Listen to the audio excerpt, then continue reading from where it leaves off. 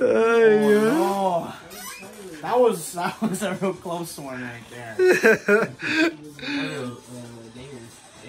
Steve, uh, uh, D-Jack, you got to. You gotta knock him out.